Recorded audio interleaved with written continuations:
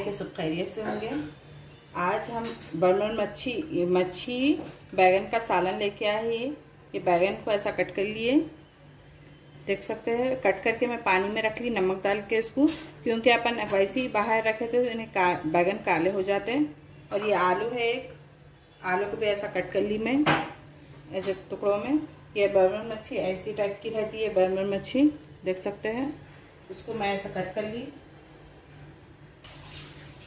देख सकते हैं, ऐसा कट कर ली मैं, ये कट कर ली, ये नीचे क्या कट कर ली, डूम।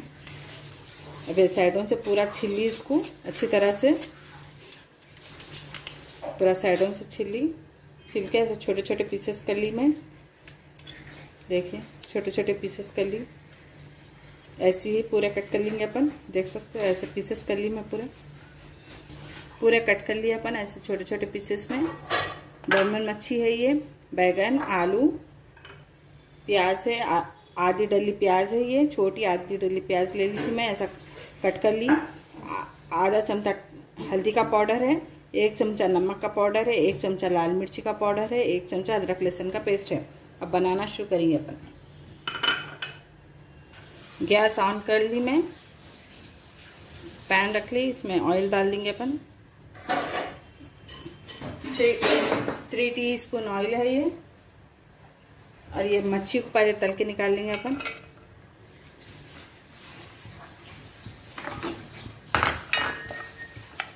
मच्छी को अच्छे अच्छा तल लेंगे।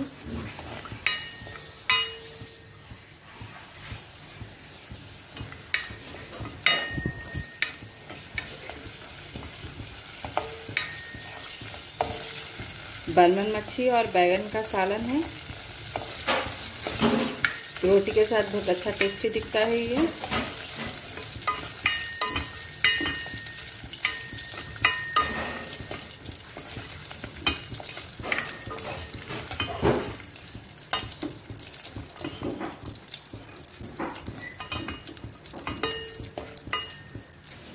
देखिए पूरी मच्छी तले गई अपनी।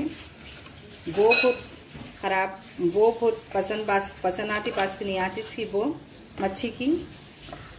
वह सालन बहुत टेस्टी रहता है इसका, देख सकते हैं। अच्छी तरह से लाल तली में इसको पूरे निकाल लेंगे, एक साइड बॉल में रख लेंगे निकाल के एक साइड में।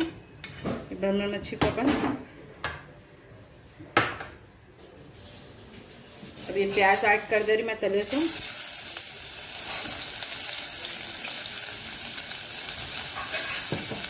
बारीक कट कर ली थी मैं। तलने के लिए इसको डाल दिए भगोने में।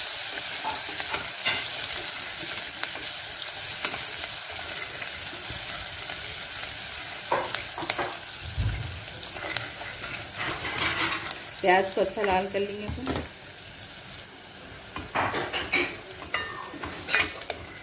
अच्छा गोल्डन कलर कर लेंगे प्याज का। और ज़्यादा भी बहुत गोल्डन नहीं करना है इसको।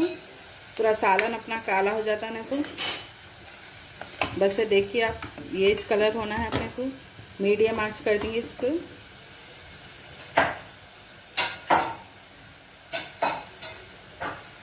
अदरक लहसुन का पेस्ट ऐड कर देंगे इसके अंदर।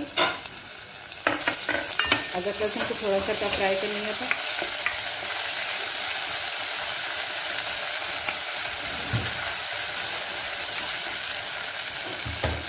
मिर्ची मिर्ची, नमक, हल्दी, तीनों को डाल देंगे अपन इसमें।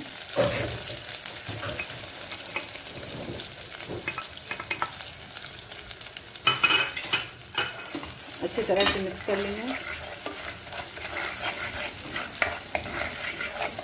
थोड़ा मसाले अच्छी तरह से भून लेंगे अपन ये।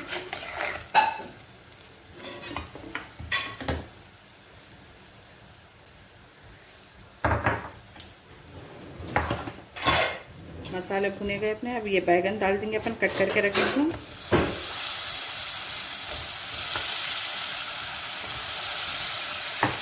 ये आलू भी डाल देंगे इसके अंदर। साथ ही डाल देंगे दोनों आलू और बैगन दोनों भी।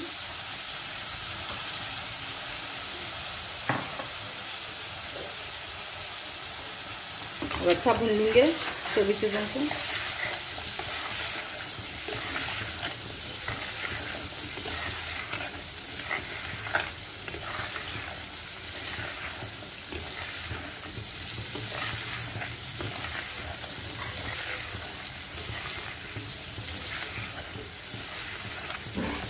अच्छी तरह से भुनेगा अच्छी तरह से भुनेगा अब इसमें अपन ये पानी ऐड कर देंगे।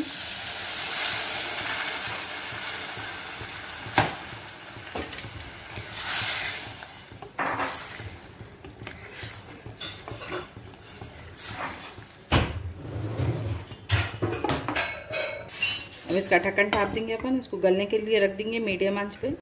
देखिए अपने पूरा पानी सूख गया। अच्छी तरह से गल गए हैं बैगन भी गल गए अपने, आलू भी गल गए।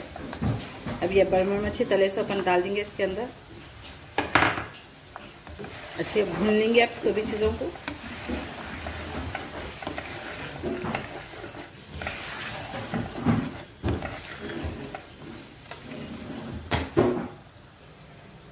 अच्छा भुने गए। अब ये पानी डाल देंगे अपन।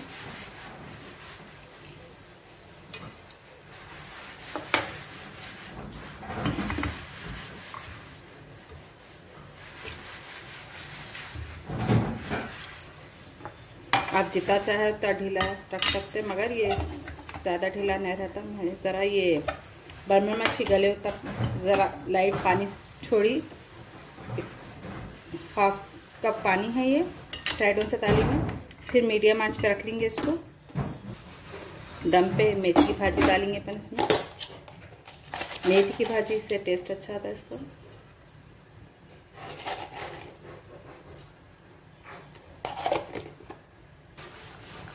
मेथी की भाजी डाल दी मैं इसमें।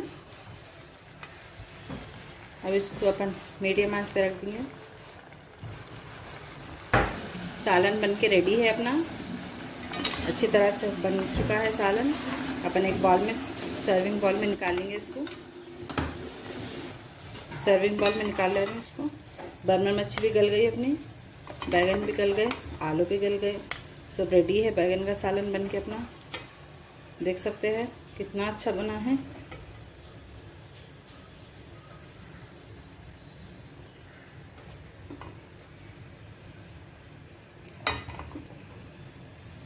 देखिए आप, सालन बन के रेडी है अपना बर्मा मच्छी का।